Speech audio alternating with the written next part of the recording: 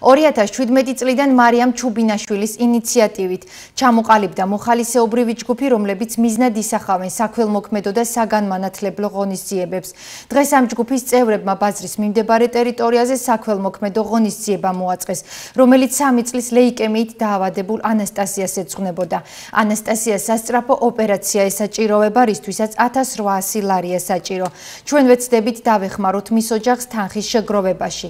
განაცხადა მოხალისეობრივი ჯგუფის წევრმა მარიამ ჩუბინაშვილმა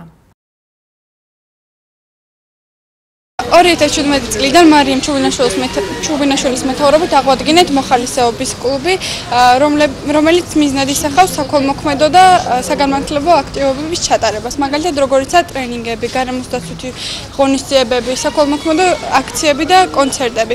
ჩვენ ასევე აქტიურად ვერთვებით მერის მიერ დაგეგმილ ღონისძიებებში და ყველაზე მთავარი ის არის, რომ ამ ყველაფერს უანგაროდ ვაკეთებთ და ჩვენი მიზანია ადამიანებს ცხოვრების ერთი დღე გაულამაზოთ.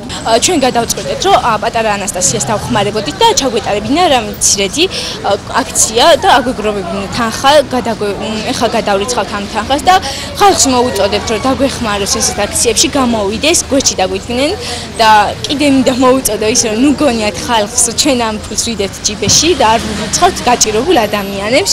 ესე არ არის, ჩვენ რო ვწვალებთ, ვურიცხავთ იმ ადამიანებს და დავეხმაროთ ცოცხლის შენაშუნებისთვის.